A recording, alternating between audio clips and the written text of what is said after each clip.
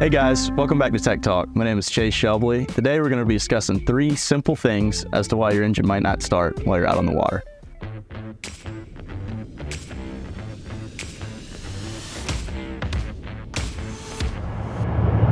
So the first thing we recommend to check if your engines aren't starting is your kill switch. Now you'll notice when you try and start the engines, you're going to get an audible beep and neither of them will start.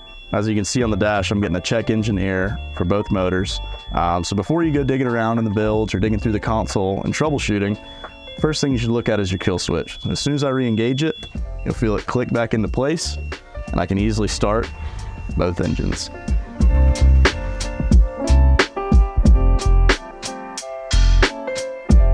So the next thing we'd like you to check is your binnacles.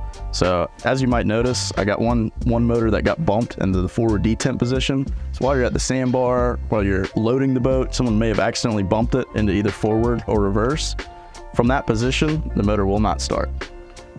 From there, take both binnacles, be sure they're both in the neutral position, and now you'll be able to engage and start both engines.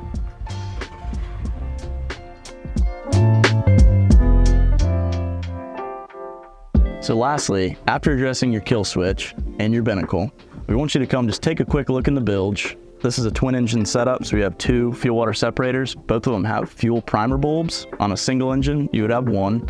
Simply go back in the bilge and squeeze your primer bulb. Be sure you get enough prime to get the motors running. Um, and this is the last step, so as soon as you do that, the motor should fire up for you.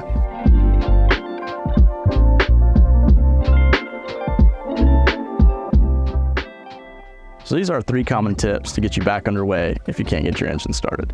Being your kill switch, your binnacle, and loss of fuel prime. If these three are not your issue, this would be a good time to talk to your local dealer or a Yamaha certified tech. If you guys have any questions or comments, leave them below, like and subscribe, and we'll see you on the next one.